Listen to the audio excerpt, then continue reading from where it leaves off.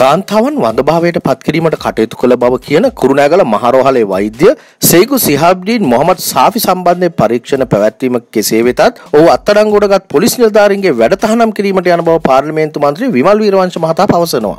ඔහු මේ බව පැවසුවේ මල්වතු අස්ගිරි මහනාහිමිවරුන් බැහැ දැකීම සඳහා ගිය අවස්ථාවේදී. එම පොලිස් නිලධාරීන්ගේ වැඩතහනම් කොට වෛද්‍යවරයා නිදහස් කිරීමට දේශපාලඥයන් උත්සාහ කරන බවටයි මේ වන විට අපට තොරතුරු ලැබී තිබෙන්නේ. එම පුවත වාර්තා කළ මාධ්‍යවේදීන්ට පවා අද චෝදනා නැගෙනවා. රට පත් වෙලා තිබෙන තත්ත්වයෙන් ගොඩගැනීම සඳහා මා සංඝරත්නය උදව් උපකාර අවශ්‍යයි.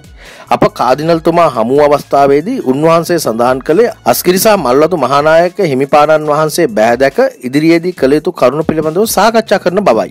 යයි ඔහු මහානායක හිමිවරුන් හමුවේ වැඩිදුරටත් කියා සිටියා. දිනපතා මෙවැනි වීඩියෝ බලන්නට කැමති නම් අමුතු වීඩියෝ අපිව මෙතනින් සබස්ක්‍රයිබ් කරන්න. බෙල් අයිකන් එක මත ක්ලික් කර අපගේ වීඩියෝ මුලින්ම නරඹන්නටත් එකතු වන්න.